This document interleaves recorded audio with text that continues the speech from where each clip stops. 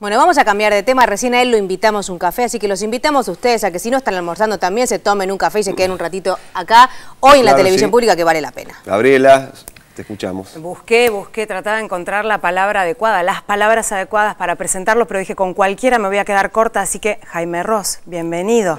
Un placer tenerte aquí. Un placer para mí.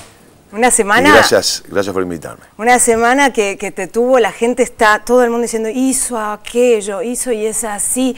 Hizo un concierto tremendo el martes en el Gran Rex, eh, absolutamente lleno de gente y lleno de toda tu vida, tus cuatro décadas de música, eh, eh, eligiendo por allí. ¿Cómo fue armar esa selección, ese seleccionado? Y fue, fue un lío. Lo que sucede es que cuando uno arma un espectáculo, eh, arranca, digamos, con una, con una brújula, con un criterio central, para luego irlo, ir contemplando distintos aspectos de él. Quería abrir al máximo un abanico estilístico que fuera desde lo más acústico hasta lo electrónico, desde el candombe hasta su otra punta que es la murga, en el medio el tango, la milonga, el milongón, las fusiones con ritmos latinoamericanos, con el jazz, con el rock. Eh, bueno, empezó a sonar la música. Eh, entonces, ¿Por qué esto? Porque el show se llama 3 millones, como, como la película que hice en el Mundial de Sudáfrica. 3 millones es una especie de sinónimo de Uruguay. Somos 3 millones desde que nací, no me canso de decirlo. Y para el resto del mundo 3 millones es una cifra, para nosotros es casi como, bueno, un sinónimo de nuestra tierra. Hmm. Entonces, tenía ganas de, hacer una, continuación de la película, pero no en forma lineal futbolística. Eh, esta es una película sobre el Mundial de Sudáfrica, ¿no? Entonces, eh, pero sí sobre la, esencia de esos 3 millones. Y bueno, no es lineal, es como otra pieza que juntas eh, conviven. Y necesitaba canciones canciones donde pudiera desplegar estos estilos y recurría a cuatro décadas de discos que he hecho. Es un concierto mío, entonces recurría a mis, propias canciones. Es uno de los autores más prolíficos del Uruguay. Tenía, digamos, un par de canciones para elegir. Había canciones, porque aparte tengo unos cuantos años encima y unos cuantos discos. Entonces, bueno, eh, por otro lado hay que contemplar que hay mucha gente que quiere escuchar determinadas canciones. Y por otro lado quería hacer canciones que no hacía hace mucho y que me gustan a mí y tenía ganas de hacerlas. Y el público de Buenos Aires es un poco pedigüeño, ¿no? No, es un, es un, público excelente. Y sí, pero piden, piden lo que les gusta. Y en, un momento dije, bueno, hay que ponerle 6 millones al, show, porque... Sí, porque me, me, pedían 20 canciones que no estaban en las 30 que hicimos.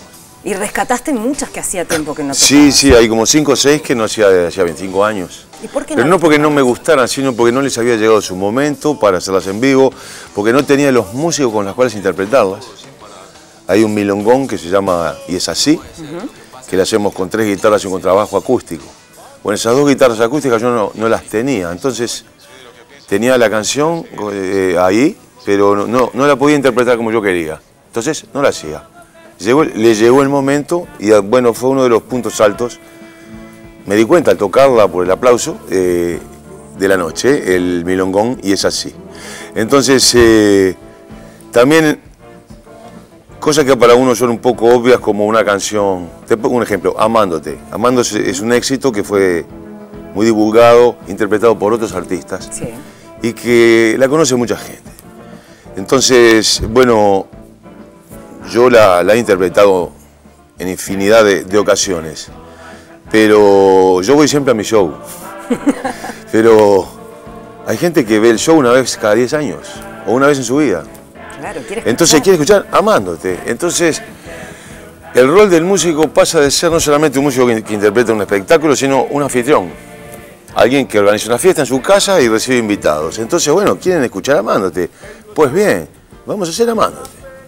Ahora, en el momento de, hacer un repertorio, si uno tiene muchos temas populares, hace únicamente los temas populares, el que aquel especialista que quiere escuchar aquella canción, aquella otra, y dice, che, siempre tocas lo mismo. Entonces, es difícil que todo el mundo quede contento. Y es difícil que yo quede contento, porque yo también quiero tocar lo, que quiero. Bueno, lo que tenés que eh, hacer es venir más seguido. Sí, tengo que venir más seguido y siempre con, espectáculos nuevos, 30 canciones que pasen las que siguen, 30 más. Bueno, en este espectáculo eh, hicimos 30 temas. Eh, el público argentino, no en vano, The Police, Madonna, hicieron sus DVDs aquí en Argentina, pudiendo hacerlo en cualquier lugar del mundo. Es, es conocido internacionalmente que es un gran público, muy entusiasta, muy digamos, muy jugado con la música que, prefiere. Y bueno, lo, que sentí en el Rex este, este martes fue una, una, mística que en cierta manera eh, era nuestro, nuestro primer concierto, nuestro estreno. Y había pequeños desajustes, pero era tal el, cariño que recibíamos y, lo que se estaba viviendo a nivel de vibración en la sala que pasaron. Y la celebración tiene que ver también con esta aventura magnífica con Yamandú, este 3 millones, que hace muy poquito que se estrenó aquí en nuestro país y que nos permite aventurarnos por más de dos horas en la pasión del fútbol, la pasión también por el cine, porque no el acercamiento al cine. Tu hijo trabaja con publicidad, ¿no? También es, es el, mundo audiovisual, es, su mundo. Y la aventura de estar ahí con esos, padre e hijo, ¿no? Y, la gente que, está alrededor. La pasión por el fútbol es algo presente en tu vida musical de siempre, ¿no? Siempre. Y en tu vida también. Siempre, siempre. Eh, pero ir a meterse ahí, casi de rebote ir a Sudáfrica, ya no, no era el primer mundial, habías estado en Corea. Yo, había estado con la selección en, en, Japón, en Japón, Corea, Corea, Japón, y tenía pensado hacer un viaje con mi hijo, eh, en un mano a mano, él vive en Holanda, yo en Uruguay, entonces eh, eh, nos vemos poco, pero intensamente todos los años hacemos un, hacemos un viaje, o él viene, o vengo yo, a Navidad viene él, después en el invierno 2013 voy yo a un mes a Ámsterdam. Eh, pero esta vez dijimos, sin familia, sin novias, nosotros mano a mano, un mes, vos y yo. Listos para que lo persigan las mujeres. Eh, exactamente. Eh, bueno, en el caso de él fue fatal, en la película... Se ve. Ve. es muy buen mozo llamando, hay que decírselo. Eh, yo invito a toda la gente, si no la ha visto, que se acerque 3 millones, es apasionante, no importa si te gusta el fútbol o no. No, ¿eh? es que increíblemente, aunque lo parezca, no es una película de fútbol. No, totalmente. Eh, bueno, el fútbol es su columna vertebral, pero va mucho más allá. Y aprovecho para decir, porque hay mucha gente que me dice, ¿y el DVD? ¿Cuándo lo ve el DVD? Bueno, el DVD, el DVD sale en Argentina a mediados de julio. O sea, en todo el territorio nacional, los que no la vieron porque se exhibió solo en Buenos Aires.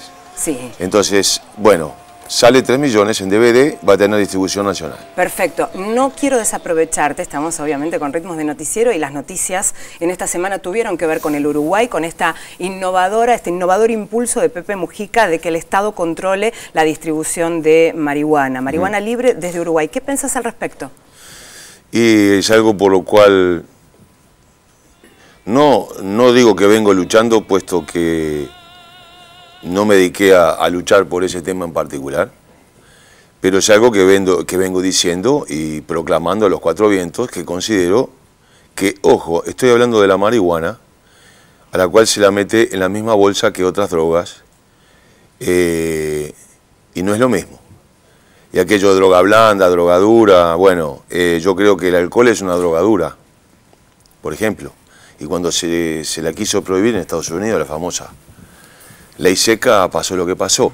Bueno, eh, estoy a favor de la despenalización de la marihuana y estoy muy contento con que nuestro moderno presidente Pepe Mujica haya hecho algo al respecto, puesto que toda la gente que conozco en algún momento o ha fumado o fuma marihuana, el 99% de ellos no son adictos.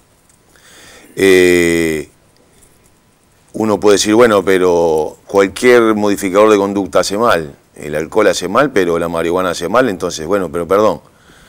Eh, eh, cuando algo se convierte en, un uso por parte de una sociedad en forma constante, eh, es un estilo de jurisprudencia tipo anglosajona. Digamos, cuando todo el mundo hace, cuando digamos, una sociedad completa hace determinada cosa, carece de sentido condenarla. Por otra parte, considero que la marihuana no le hace mal al corazón, no le hace mal al hígado, le hace muy poco daño al cerebro de la gente, a menos que se abuse, pero si se abusa del café, uno le hace mal, si se abusa del tabaco, uno se muere de cáncer. Entonces, eh, Bueno, es un tema que da para una discusión larguísima. Yo estoy a favor y de la misma manera que digo también a los cuatro vientos que estoy absolutamente en contra de la, de la legalización de cualquier otra droga que realmente le hace muchísimo daño a la gente, todas las demás. Lo que nosotros abusamos mucho es de sus canciones porque nos hacen tan felices. Eh, estamos muy contentos de que hayas pasado por aquí por el noticiero. Gracias, Jaime. Muchas gracias a ustedes por invitarme y lamento haber tratado este tema tan así al vuelo, porque yo sé que es polémico y que da para, ¿no? Pero bueno, dije más o menos un poco lo que opino, Está muy bien. Jaime Ross en la televisión pública, un placer tenerte. para mí.